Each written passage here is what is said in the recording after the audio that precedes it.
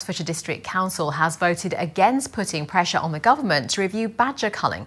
Eight English counties currently have licences to cull badgers.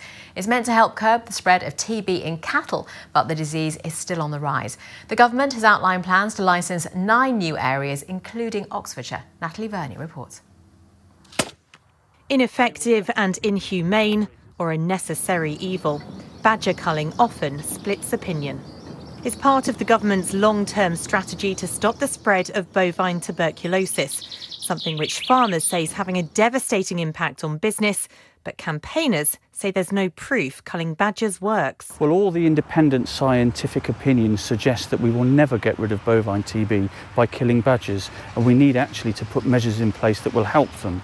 The government's own figures indicated that there was actually a 13% increase in the number of cases of cattle contracting bovine tuberculosis this year compared to the previous 12 months. So the situation it is simply cannot continue.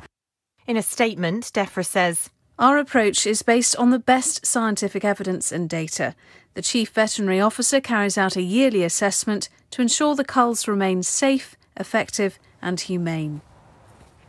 But badgers have people fighting their corner. I'm looking for signs of activity here. Um, you can tell because there's a lot of spoor, there's a lot of digging, that some of these are very fresh. So this one is an active hole.